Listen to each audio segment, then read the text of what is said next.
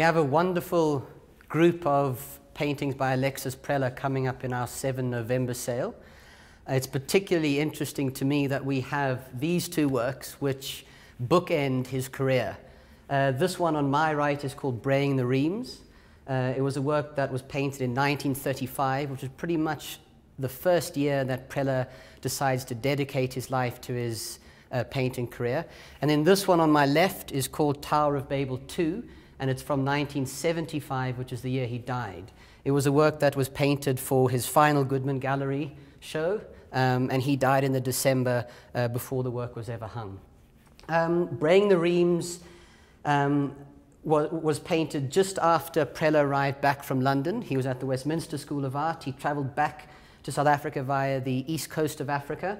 And you can tell, I suppose, um, that he was still very much uh, influenced by uh, his idols at the time, uh, Van Gogh and Gauguin.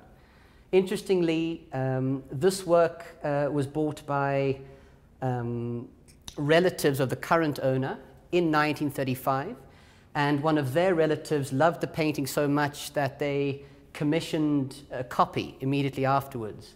Um, but this is the original that Preller painted in 1935. It shows a man twisting leather uh, in preparation for uh, furniture making. And the colors are very much in the post-impressionist palette that Van Gogh, of course, uh, is so famous for, these wonderful deep blues um, and these electric greens. I think what's so amazing um, is that from this work to this, uh, you do see this visual and iconographical journey that Preller makes from 1935 to 1975.